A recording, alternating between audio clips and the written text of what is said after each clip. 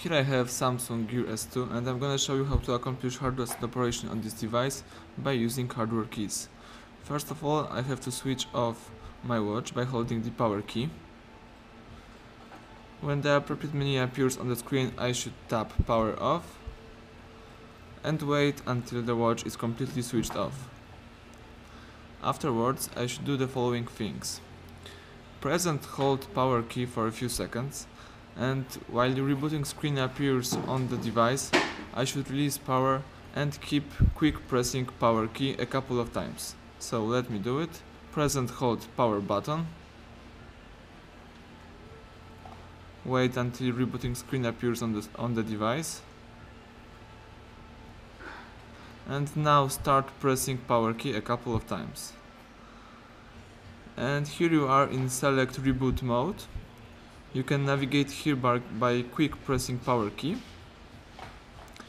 In order to perform hard reset operation, you should highlight recovery and press and hold power button for a few seconds. Release power as soon as Samsung Galaxy Gear appears on the screen and wait until the factory reset operation will be completed.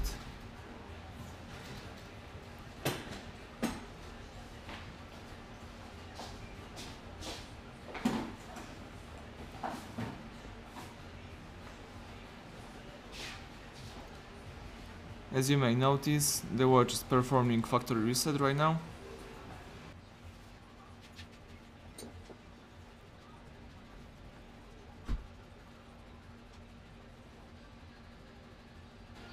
The watch is resetting and rebooting. Now the new configuration is installed.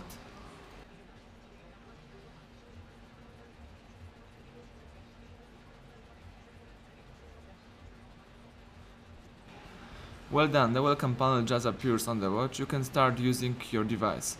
Thank you for watching and please subscribe our channel and leave finger up under the video.